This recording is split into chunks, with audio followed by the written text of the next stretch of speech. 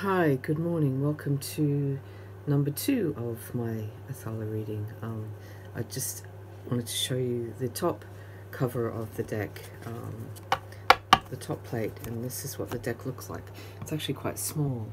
Um, I, I did it bigger and then I decided I was going to try doing it uh, tiny, sort of palm held. Have to excuse my fingers, I've been painting and they're pretty grotty. Anyway, um, I've got the flash on because for some reason the exposure's gone crazy.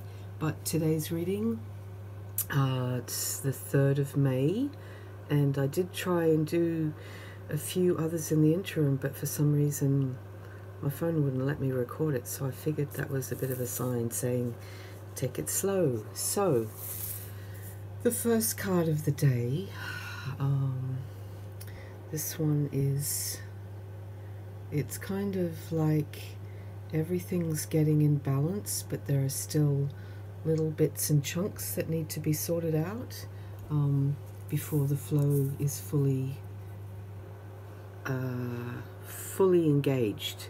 So as you can see, the little black bits are they're separating, um, and they're about to be released into the bloodstream, but they're not quite not quite detached enough yet. So we're, we're, we're getting there, but there's a bit of work in progress. Um, and this one,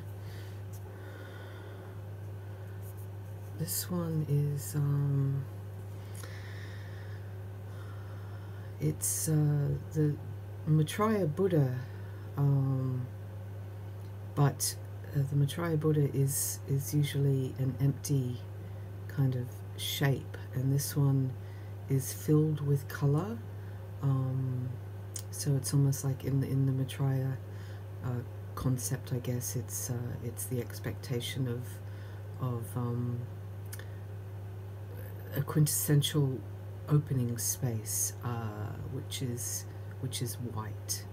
So it's the reverse, and this one is is filled with color. Um, I painted it quite intuitively and it, it's almost like you know we have a blank canvas to put whatever we choose onto it in a creative way uh, from the the the the dantian from that kind of space in our knowing of of who we are and how we fulfill our own pathway, I guess, or joys um, sorry, I haven't had enough coffee yet today. uh, number three. This is um, this is the Axis Mundi card. If you look at it this way, it's it's the you know the the elements, the waters, the the land, the trees, and the sky. But also it works like this as kind of a stairway between the heaven and the earth, um, or Jacob's ladder. There's lots of different mythologies. Um, yeah, this one kind of showed up in a drawing when we were snowed in one weekend, and and um, oops, losing the light. okay, and this one, gotta hurry up.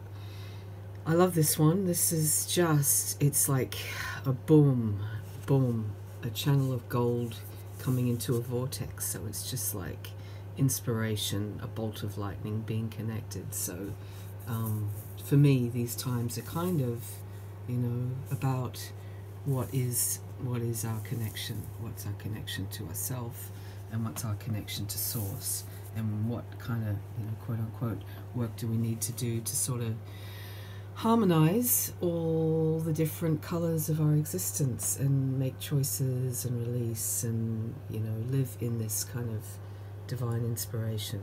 Anyway that's today. Cheers. Thanks for listening